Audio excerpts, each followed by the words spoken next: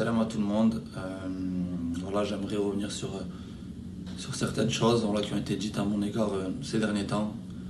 La première, c'est que voilà, pour répondre à, toutes ces questions, je me sens très bien physiquement. je sors d'une préparation d'un mois et demi avec mon club, tout en étant en, plein milieu de saison, euh, sachant que j'ai débuté la saison en Italie. je sors de plusieurs matchs amicaux, de trois matchs de compétition avec mon équipe. Euh, dans la dernière, j'ai eu la chance d'être élu dans la enfin, dans l'équipe type MLS de, dans la dernière journée de championnat. Euh, je suis arrivé en forme en, sélection. Euh, le coach a pu dire à travers certains, certains médias que j'avais, qu'il avait fait des tests GPS et que j'avais un GPS justement sur moi dont je n'étais pas, je n'étais pas au courant. Il faut que je rappelle aux gens que le port d'un GPS c'est c'est voyant, c'est comme enfiler un vêtement, donc forcément, euh, si, euh, si je ne l'avais pas sur moi euh, ou si je n'étais pas au courant, ça se serait su. En plus de ça, nous n'avons pas, enfin, pas effectué de test particulier pour mesurer la condition physique d'un athlète. J'ai porté une seule fois ce GPS sur une séance très courte d'une vingtaine de minutes où les cours sont forcément réduites et amoindries. Donc il me semble difficile euh, d'effectuer justement euh, ou d'en déduire une condition physique de l'athlète. Euh, pour aller plus loin, voilà, je, connais certains tests physiques que j'ai pu effectuer en Italie parce que je peux vous assurer que là-bas j'en faisais souvent. voilà, il y a le test Van Meval, le test Cooper, il y a le test de Bru, le test Navette c'est des différents tests qui peuvent te permettre justement de calculer la vitesse maximale aérobique de l'athlète. Pour, en expliquer un et pour donner un exemple, euh, un exemple simple, le Van Meval euh, peut s'effectuer autour d'une piste euh, à l'aide d'un CD qui vous permet de franchir différents paliers. À la suite de ça, on arrive en quelque sorte à mesurer la condition physique de l'athlète. Et pour faire court, voilà, j'aurais aimé entendre autre chose, que ça. Euh, j'ai été surpris de la part du coach. Voilà. Euh, en tout cas, j'ai accepté ses choix euh, techniques sans pour autant les comprendre. Mais je veux pas que les gens s'imaginent certaines choses qui sont fausses. Parce que le fait d'être en méforme physique, c'est tout simplement, tout simplement faux. Et voilà, je rappelle qu'aucun test n'a été effectué durant ce stage.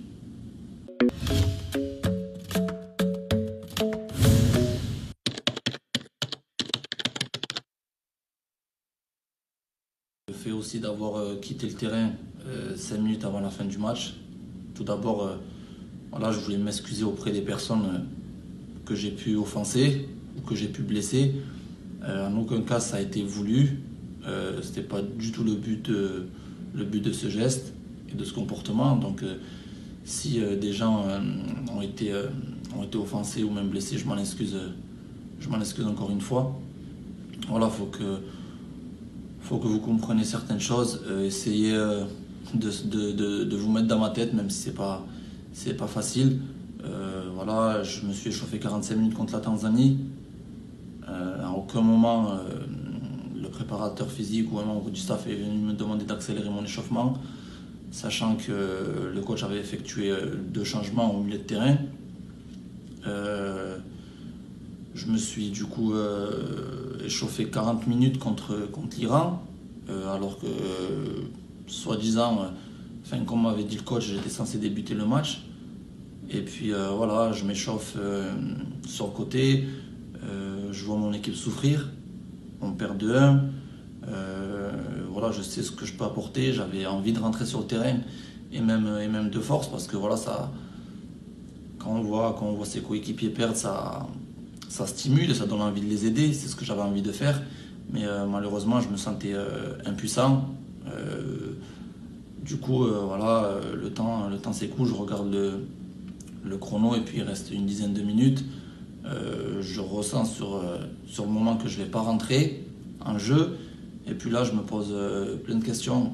voilà, je, me fais, je me refais un film, je me dis, j'ai une cinquantaine de sélections. Ça fait plus de 5 ans et demi que je suis en sélection. J'ai vécu des moments que, forcément je n'oublierai jamais.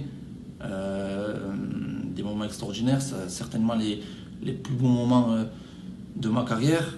je tiens ce maillot, je tiens cette équipe.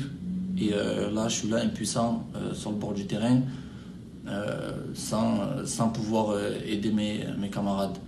À ce moment-là, voilà, je, je reviens m'asseoir sur le banc de touche. Il restait 5 minutes. Et puis je reste là 6 minutes. et en me remémorant tout ce que je viens de vous dire, c'est pas facile pour moi parce que voilà, la frustration euh, monte forcément. Et, euh, et du coup, je décide de me lever, d'aller au vestiaire parce que euh, je voulais pas montrer que ce soit mes camarades, au staff, à l'entraîneur, ma frustration. Je voulais pas perturber le groupe à ce moment-là. Il restait 5 minutes et je voulais justement perturber personne pour leur laisser le maximum de force pour égaliser ou pour même gagner ce match. Donc j'ai préféré me lever sans que personne me voie, sans que le coach me voie, et rentrer au vestiaire, laisser ma colère, ma frustration au vestiaire, et non pas sur le banc qui aurait pu euh, gêner euh, le reste du groupe. Alors que voilà, peut-être ça, ça a fait parler de moi euh, sur certains, voilà, sur, enfin, certains médias ont parlé de moi, mais, en tout cas, j'ai jamais voulu, je n'oserais jamais faire de mal à, cette équipe parce que, parce que voilà, c'est mon pays et, et, je défendrai haut et fort jusqu'au bout les, les, couleurs de l'Algérie.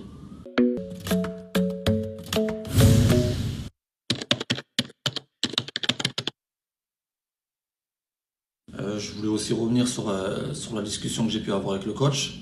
Hum, donc euh, la veille du match contre l'Iran, voilà, faut savoir qu'il euh, était venu me voir euh, après le match de la Tanzanie en me disant de bien me préparer et que ça allait être un match important contre l'Iran. Donc je me suis préparé le, plus normalement possible, comme j'avais l'habitude de le faire. Et durant cette discussion, voilà, je lui ai posé certaines questions que je ne comprenais pas pourquoi il ne m'utilisait pas, sachant qu'il m'avait fait venir de très loin, que j'avais un certain nombre de sélections, que j'étais un des cadres de la sélection. Donc voilà, je ne comprenais pas forcément ses choix, euh, tout en les respectant d'ailleurs, parce que voilà, avant tout c'est euh, l'entraîneur de l'équipe nationale et, je me devais et je me dois toujours de respecter ses choix. Il m'a simplement répondu qu'il ne me sentait pas au top de ma forme. Donc voilà, euh, je lui ai répondu que j'étais compétitif, que je me sentais bien et que voilà, j'étais prêt à jouer ce match. Puis il n'a pas forcément voulu me donner d'explications. Euh, il m'a dit que ce n'était pas dans sa nature. Donc voilà, euh, je suis resté un peu cloué. J'ai pas spécialement compris ses, euh, réponses, mais, mais voilà, en quelque sorte, ce qui, qui s'est dit entre lui et moi, j'ai ensuite rajouté que je voyais pas l'intérêt de me faire venir, sachant qu'il me connaît déjà. Ça fait un bon moment que je suis en sélection.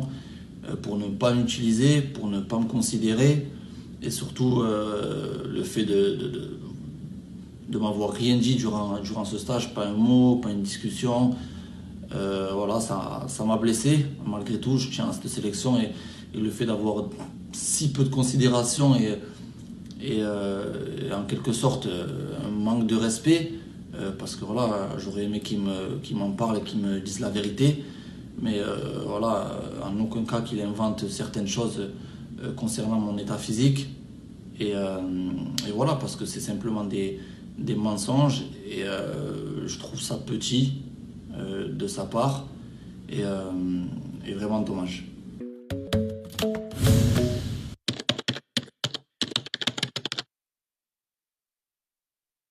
Concernant ce qui a été dit sur le fait de ne plus avoir envie de venir en sélection, voilà, je, voulais, je voulais simplement dire que c'est complètement faux.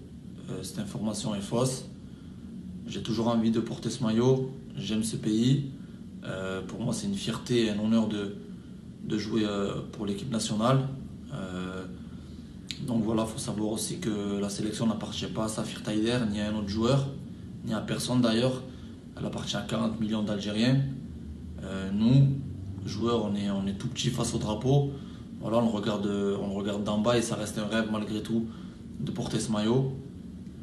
Euh, j'ai simplement dit au coach que je ne voyais pas l'intérêt de me faire venir d'aussi loin, de ne pas m'utiliser, de ne pas me considérer, de ne pas m'adresser un mot du stage. Et euh, au final, euh, voilà, me faire venir c'est pas dans mon intérêt, c'est pas dans l'intérêt du coach et c'est pas non plus dans l'intérêt de la fédération. Donc euh, voilà, je lui ai simplement demandé de se poser les bonnes questions. Et puis, euh, que voilà, malgré tout, euh, j'étais déçu de, ce stage et de ce qui avait été fait de sa part.